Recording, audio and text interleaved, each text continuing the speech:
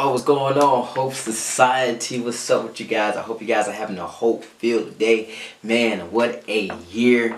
What a decade. It has all been a blast. And I say it's been a blast because no matter if we took a few setbacks or had a few L's, the fact that we're still here today means that we are more than capable of better planning for where it is that we're going next. Um, so I just want to encourage you guys that, man, listen, even if we took a few L's, um, everything didn't work out um, as planned, let's use those moments over this past year and this decade uh, as reference points on how we can better move ourselves to where it is that we're destined and designed to be.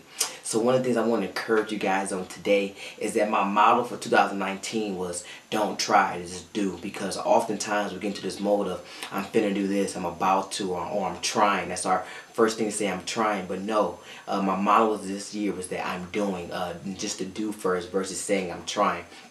And that just to say that um, it leads us to what it is that I want to preset our decade and our year. And that is that we have to see it and then do it. Um, and that's just more in line of the fact that uh, I don't want you guys to wait. Um, a lot of times that we get into this mode of planning or about tos and once again that feeling when we don't actually begin to supply the action. So even right now days out, don't wait. Start now. You don't need the first, you don't need the second or January. You can start living within the reality that you desire even in this moment today. So I encourage you guys that even with everybody going to run out with the whole 2020 I got vision, listen, vision is still not clear without focus. So um, even if you can see everything, you got 2020 vision, it's not until you hone in on what it is you're destined and designed for, are you able to fully see that thing and then begin to take the necessary steps to attain it.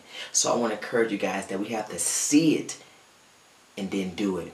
Visualize yourself opening that door to that new house. Visualize yourself walking into that new job. Visualize yourself uh, checking your bank account and seeing all that wealth. Visualize yourself walking into that healthy, loving relationship. It's not until we see ourselves having what it is that we're desiring that we actually begin to see the reality of it. So don't just keep saying, I'm doing this, I'm doing that. Begin to actually see yourself as if it's already done and watch your world begin to align itself with that moment. Because if we say our goals if they're already completed, then our world becomes in line with how those things must line up. So if you see yourself having that interview on Ellen DeGeneres, see it done now and watch how your world begins to allow you to walk right into that moment and surpass it into the greatness and the overflow that you're actually meant for.